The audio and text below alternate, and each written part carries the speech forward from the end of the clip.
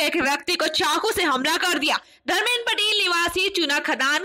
काकर ने बताया कि जब वह घर जा रहा था, तभी कबीर आश्रम के पास देवीलाल पवार निवासी बालगढ़ आए और ऑटो की किश्त को लेकर विवाद करने लगा। विवाद के दौरान देवीलाल ने पीछे से पीठ पर चाकू से हमला कर दिया। पैसा का मामला था अपना किस्त नहीं भरिया और बिना फिटनेस बिना परमिट से गाड़ी चला रहा है।